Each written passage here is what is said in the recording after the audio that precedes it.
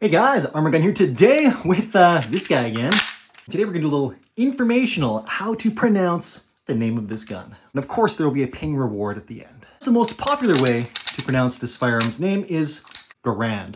That's technically not right, though because it's been used so much, I would say it's common enough to be an accepted term. However, if you want to take it to the next level, Garand is technically the proper way to pronounce the name. Garand rhymes with errand, and the reason for that is the designer, yes, he became an American citizen, he was born in Canada, and was of French-Canadian descent. So, given the rifle was obviously named after him, should you not pronounce it the way you pronounce his last name? Now, a bunch of guys also call it grand, like, gee, ain't that grand. Sorry guys, you are flat out wrong, but I think I can satisfy you all with this little bit. The M1 Garand, designed by John Garand, is just grand. Ah, son of a... Boom diggity.